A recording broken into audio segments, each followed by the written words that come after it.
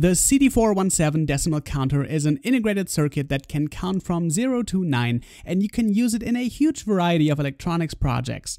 In this 7-step tutorial, we will start with a basic circuit, debounce the push button and add a power on reset so that it always starts at 0, learn how to make it count from 0 to 5 instead, combine multiple CD4017 chips to count from 0 to 99, learn how to reset those with logic gates and a reliable reset circuit, and even add a custom external clock signal. I will also show you exactly what electronic components you need, and then we will build everything step by step. And at the end of this tutorial, you will understand this entire schematic here with all of its different parts and components. So let's get started and learn everything about the CD4017, the integrated circuit you can count on. Hi, my name is Jens and I believe that everybody can learn electronics and this channel is all about beginner-friendly electronics tutorials and projects with and without microcontrollers. And if you want to follow along today's tutorial, here's what you need two 830-pin breadboards, a 9-volt battery with a battery clip, 22 LEDs and 470 ohm resistors, six 4.7 kilo ohms resistors, and a 1N4148 diode, two CD4017 counter ICs, one CD4081 AND gate IC, two NE555 timers, six 100 nanofarad capacitors, one 1 microfarad capacitor, two 22 microfarad capacitors, one 100 microfarad capacitor, two 10 nanofarad capacitors, and two push buttons. To begin with, in step 1, let's have a look at the basic circuit. In the middle you can see the CD4017 and these 10 LEDs here are connected to the 10 outputs Q0 through Q9 with a 470 ohms resistor each. Then we have to make sure that the CD4017 has power and because it's a CMOS chip, it can take anything between 3 and 18 volts and here we will use a 9 volt battery for convenience. The power supply pins are this funny looking symbol here. It's always a good idea to add a 100 nanofarad bypass capacitor in parallel to the chip, as well as a larger bulk capacitance like this 100 microfarad capacitor right here to stabilize the overall circuit. The counter increases its value whenever there is a positive pulse at the CLK or clock input, which is what the button S1 does. R11 is a pull-down resistor so that the clock input is held low whenever S1 is not pressed. And in the same way, pushing S2 instead resets the counter back to zero. CI stands for clock inhibit and whenever it is high, the counter ignores all clock pulses on the CLK pin. Here we don't need that functionality, so we can permanently connect clock inhibit to ground. And last, CO stands for carry out, and we will get back to that later in step 4. Alright, let's go ahead and build it on a breadboard. Place the two 830-pin breadboards in front of you, connect them together, and make sure that row 1 points to the left on both of them. For the upper breadboard, connect the positive power rail at the top and the bottom, and do the same for the negative power rail. Next, repeat these steps for the lower breadboard and finally connect the positive power rail of the upper breadboard to the positive power rail of the lower one and do the same for the ground power rail. Make sure that you are using this type of breadboard here. There is a different type out there, which is the same size, but where there are two independent power rails. In that case, you also need to put in connections in between. Thanks to Smiffer67 for pointing that out to me on Twitter, I had no idea. Okay, but for now we will focus on the upper breadboard and build our schematic from before. Place the CD4017 in row 9 and make sure its notch points to the left. The pins are labeled like this.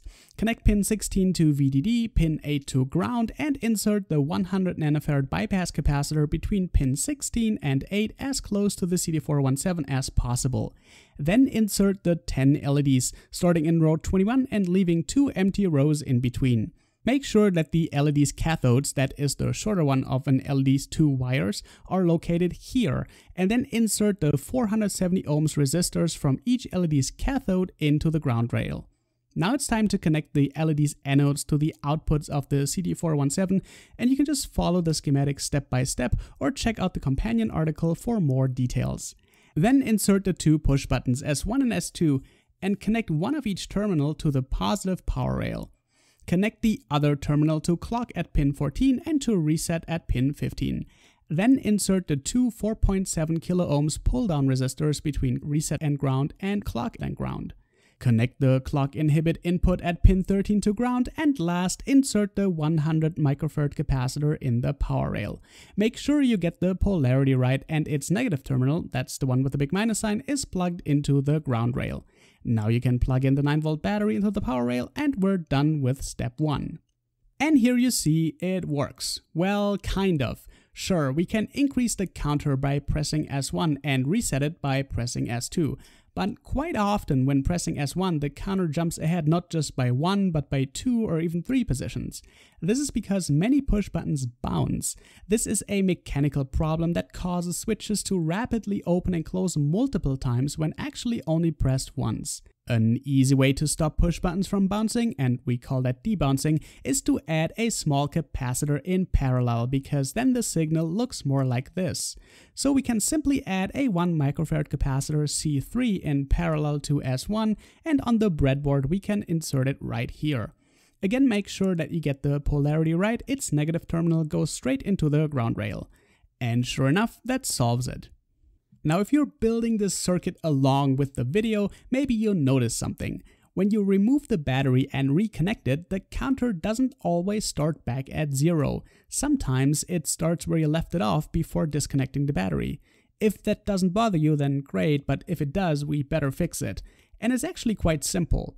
Just add a small 100 nanofarad capacitor between the reset pin and VDD. This way there will be a voltage at the reset pin whenever the circuit is powered up for the first time and C4 carries no charge. And that voltage will go away when the capacitor C4 gets charged up, which happens very quickly for such a small capacitor. Here's how that looks like on the breadboard. You can plug the capacitor into the positive power rail like that, and sure enough, now the counter always starts at zero when powered off and on again. So far we have used the CD4017 as a decimal counter, meaning that it starts at 0 and it ends at 9. But what if you want something else? So let's learn how to reset it somewhere else and make it count from 0 to 5 instead. In that case, simply connect the output Q6 to the reset pin. It is a good idea to insert the diode D1 so that whenever you press the reset button, no current can flow into the output Q6, which could damage our CD4017. Back on the breadboard, insert the diode D1 like this and make sure that its cathode, the black ring, points to the left and its anode is connected to LED 7 at output Q6. Then connect its cathode to reset at pin 15 of the CD4017. It's a bit hard to see, but make sure that you don't accidentally plug the diode's cathode into the neighboring LED, we are using an empty row here. And if you plug the battery back in, you now have a counter from 0 to 5. And it of course works exactly the same way for any other counting limit. And now it's time to count to more than 9 and that is where the CO or carry out pin comes in whenever the counter is at 9 and receives an additional clock pulse and goes back to 0, the carryout pin sends out a pulse as well, and we can use that as a clock pulse for a second counter. That's just like what real life counters do when their 1s overflow and the 10s are increased by 1. Back on the breadboard, let's first remove the reset wire and the diode from before and add a second CD4017 chip on the lower breadboard. Connect VDD, ground, and the bypass capacitor as before, connect the clock inhibit pin to ground, and then connect the 10 LEDs and their 470 ohms resistors to the CD4017 just as before. Looking at both counters, connect the carry out pin of the first CD4017 at pin 12 to the clock input of the second CD4017 at pin 14. The reset lines are connected in parallel and that's it.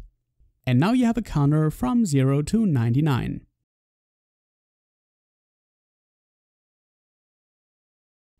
But what if you want to have a counter from 0 to 25 only? This means that we need to reset whenever the first counter is at 6 and the second counter is at 2. And for that we can use the CD4081 integrated circuit. It has four AND gates, and each AND gate has two inputs and one output. Only if both inputs are high, the output is high as well. For all other combinations, it is low. And that's exactly what we need here. Again, it's a good idea to use a diode to connect the output of the AND gate to the reset line, because otherwise a current could flow into the output of the AND gate whenever S2 is pressed, and that is not a good thing. Let's put it on the breadboard. Place the CD4081 in row 55 on the lower breadboard and make sure its notch points to the left. The pins are labeled like this. Connect VDD at pin 14 and ground at pin 7 and connect another 100 nanofarad bypass capacitor close to the chip.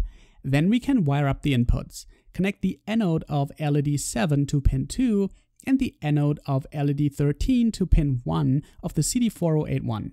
Then insert diode D1 between pin 3 of the CD4081 and row 63 on the very right. Make sure the diode's cathode, the black ring, points to the right. Connect over to the other side and then connect to the reset line like this. All done and it looks like it should work, right? Well, let's see. And it doesn't work. Why? Because our reset line is actually not stable. Basically what happens is that whenever the AND gate goes high and the reset line goes high as well, one of the counters resets before the other one. But that removes the condition for the AND gate to be turned on in the first place because one of the counters is reset back to zero, and that way the other counter doesn't get reset. Maybe you can tell me in the comments if this circuit is working properly for you. I built this five or six times and I just couldn't get it to work reliably. At that point I realized that the only way out is a proper reset circuit. And for that we can use the NE555 which we covered in tutorial before. So let's have a look at the schematic and see how it looks like. C7 and C8 are bypass capacitors and the LED is just there to show whenever the circuit is active. The important components are the other two resistors and the capacitor.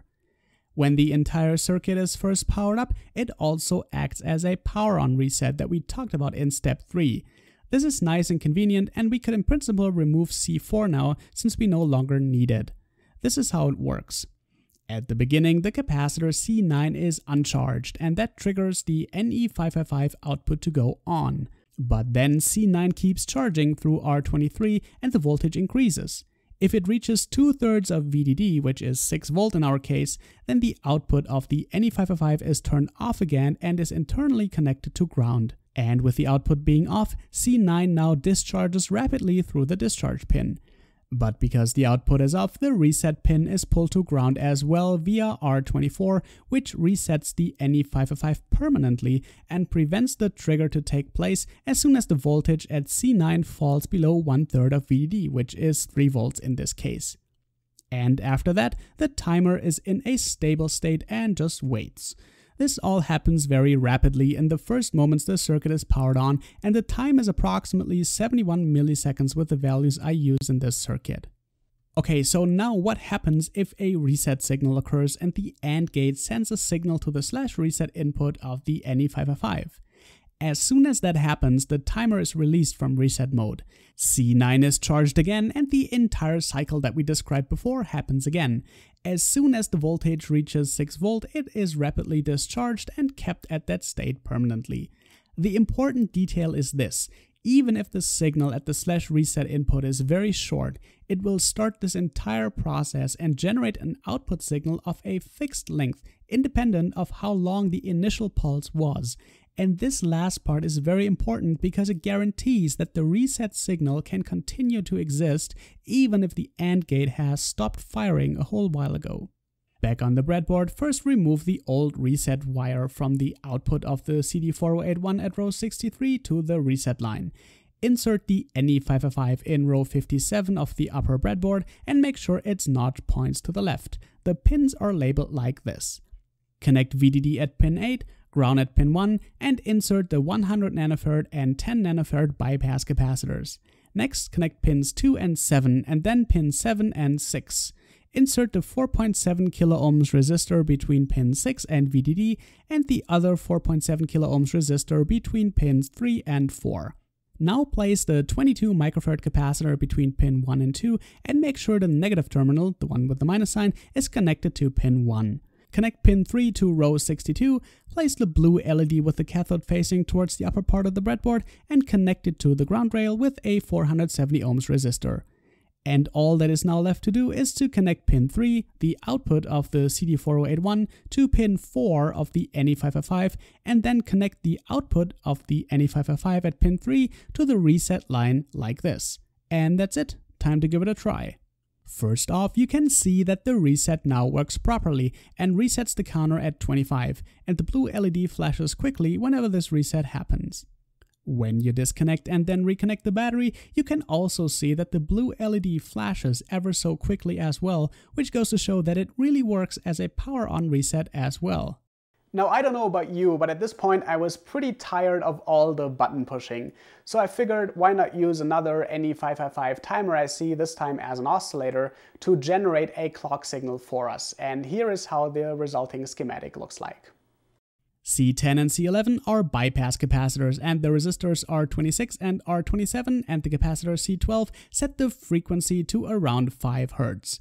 We can connect the output at pin 3 directly to the clock pin of the first CD4017. On the breadboard, place the NE555 in row 3 of the lower breadboard with its notch facing to the left. Connect VDD at pin 8 and ground at pin 1 and connect the 100 nanofarad and 10 nanofarad bypass capacitors just as before. Next, connect pin 7 to VDD with a 4.7 kilo ohms resistor and then place another 4.7 kilo ohms resistor between pins 6 and 7. Connect pin 4 to VDD and place the 22 microfarad capacitor between pin 2 and ground and make sure that the capacitor's negative terminal, the one with the minus sign, is really plugged into the ground rail. Next, connect pin 2 to pin 6. Then connect a wire from pin 3 a few rows to the right to row 8 Insert the red LED with its anode pointing towards the bottom of the breadboard and on the other side connect the LED's cathode to ground with a 470 ohms resistor. Now move the reset and carry out wires out of the way by disconnecting them only at the top. Connect pin 3 of the NE555 to the clock pin of the upper CD4017 at pin 14 and then reconnect the reset and carry out wires. And now we're really done and when you plug in the power, the counter will work on its own.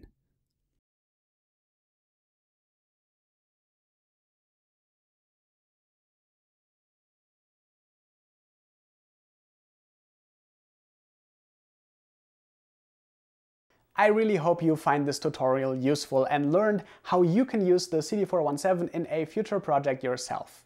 Let me know if you have any questions. Thank you so much for watching and I will see you next time.